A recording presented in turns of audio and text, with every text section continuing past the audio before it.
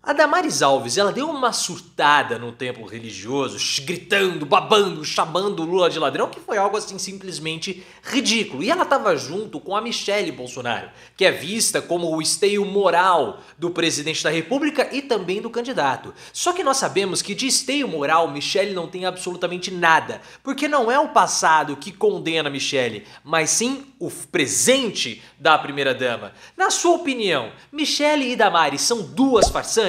Coloque nos comentários, deixe o seu like se você quer ver a derrota dessas pessoas no dia 30 e claro, se inscreva no canal. E eu acredito que vocês viram o surto da Damares no templo religioso. Porque Damares e Michele têm percorrido vários templos religiosos fazendo campanhas abertas para o Bolsonaro. Elas estão sim usando os templos como palanque político. Só que você vai entender com o decorrer desse vídeo que isso não importa e não é um desrespeito, porque Damares e Michele não são evangélicas, elas são bolsonaristas e são coisas completamente distintas. Mas chamou a atenção o surto da Damares porque ela chegou lá no templo e começou a gritar, a babar, falar o seguinte: não, mas tem muito santo aqui, e começou a gritar: é, Lula ladrão, o seu lugar é na prisão, coisas do tipo. Isso tudo, claro, chocou uma parcela da população.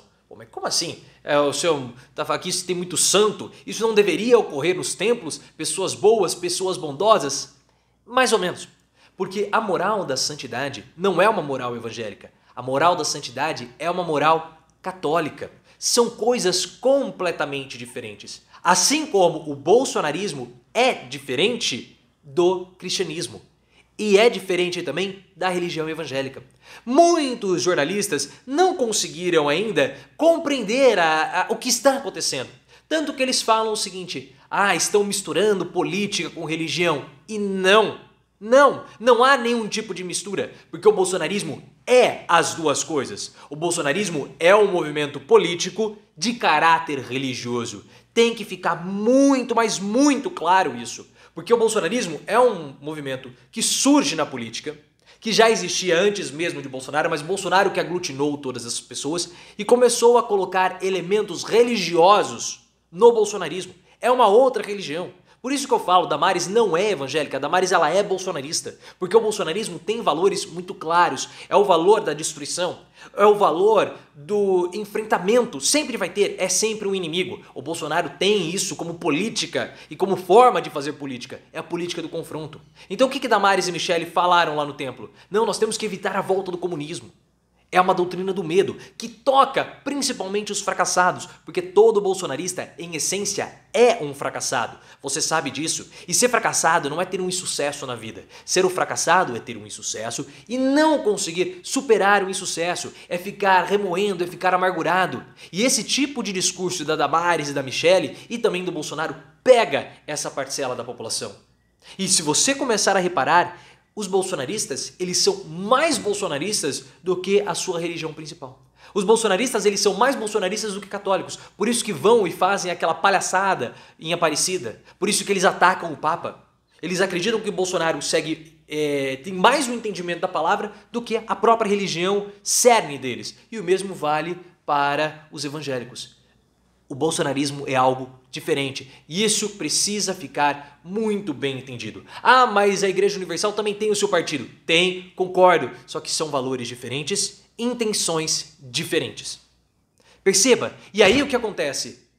Os apoiadores de Bolsonaro eles não são simplesmente apoiadores, eles são, fazem parte de um exército, de uma disputa religiosa e espiritual. E todos aqueles que se colocam contra Bolsonaro estão se colocando contra o Messias na Terra, que é o Messias do bolsonarismo. Por isso que eles passam por cima de todos, inclusive de familiares e de suas antigas religiões. Ficou muito claro isso para vocês? Coloque nos comentários o que vocês acham dessa interpretação e, claro, se inscreva no canal. E alguém que tem um papel muito importante, que se transformou na coluna vertebral desse movimento é Michele Bolsonaro.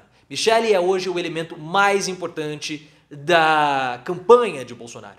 E Michele fez um discurso que muitos criticaram, mas as pessoas não conseguiram entender. Michele falou o seguinte: não olhem para o meu marido, olhem para mim. Porque Michele ela quer se colocar como sendo o esteio moral de Bolsonaro. Algo muito importante para a cultura evangélica, não para a religião evangélica, porque pensamos que o, o bolsonarismo é diferente do, do, do evangelismo. O bolsonarismo é uma religião à parte, mas que pega elementos da cultura evangélica. Michelle ela quer se colocar como sendo a rainha Esther de Bolsonaro. Quem é a Rainha Esther, para aqueles que não estão familiarizados? Rainha Esther era uma judia que foi casada com um rei iraniano. E ela teve que se casar com o rei iraniano porque foi uma, um movimento divino. Ela foi enviada por Deus para se casar com esse rei iraniano, para justamente no momento de maior crueldade dele, ela conseguiu influenciar para que ele não exterminasse, para que ele não matasse o povo hebreu, o povo judeu. Então, é, Michele está se colocando como a rainha Esther de Bolsonaro, como aquela ungida por Deus para tocar o coração de Bolsonaro.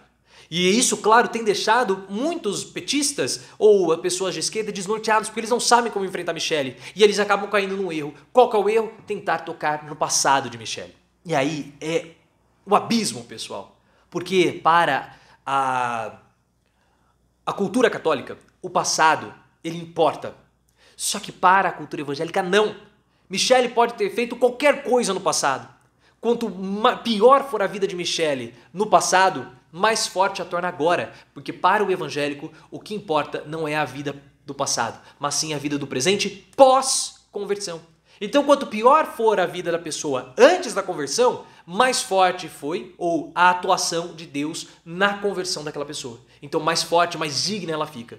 O mesmo acontece com o Guilherme de Pádua, por exemplo. Vocês sabem o que ele fez com a Daniela, com a Daniela Pérez. E aí, depois que ele se converteu, olha só a atuação, a força de Deus na vida dessas pessoas.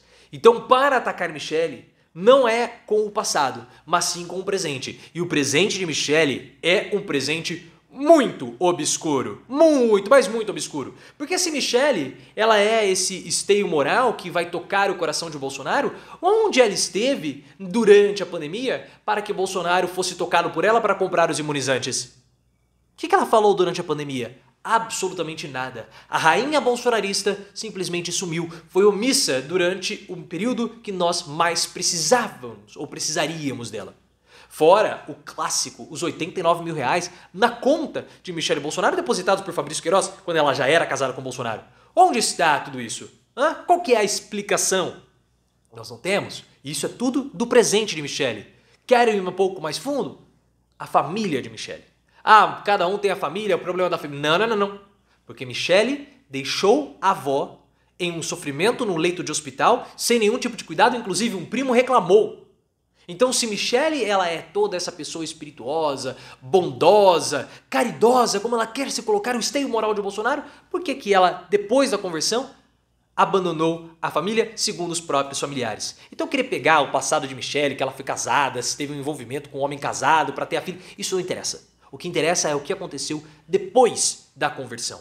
E aí o Lula, ele consegue ter uma sorte nessa, nesse movimento todo, porque a parcela da população indecisa não se influencia muito com essas coisas. Então o Lula pode jogar o jogo da economia. O Lula pode fazer o seu alvo, que são as pessoas de 18 a 24 anos, a maior parcela dos indecisos, converter em votos para ele. Como nós já falamos, link aqui no card. Porque todo esse movimento poderoso religioso do Bolsonaro, ele não toca a parcela da população que pode mudar o voto ou que ainda não definiu o voto. Então o Lula tem essa esperança, tem essa chance e ele precisa aproveitar. Falta uma semana até o final.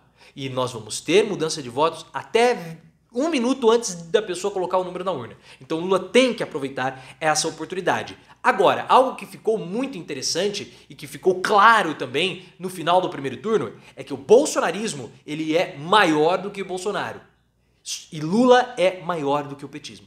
E como nós chegamos a essa confirmação? Por conta da votação que nós tivemos. O bolsonarismo, ou seja, os candidatos bolsonaristas, eles foram mais votados na somatória do que Bolsonaro. Só que Lula foi mais votado do que os candidatos do PT ou os candidatos da esquerda. Então perceba que Bolsonaro ele ainda é um líder imperfeito para esses bolsonaristas. Ele foi o líder que aglutinou tudo, que pegou todos os bolsonaristas que estavam espalhados e, colocar, e colocou junto nessa bolha ou nessa forma chamada bolsonarismo. Mas ele ainda não consegue tocar todos os bolsonaristas.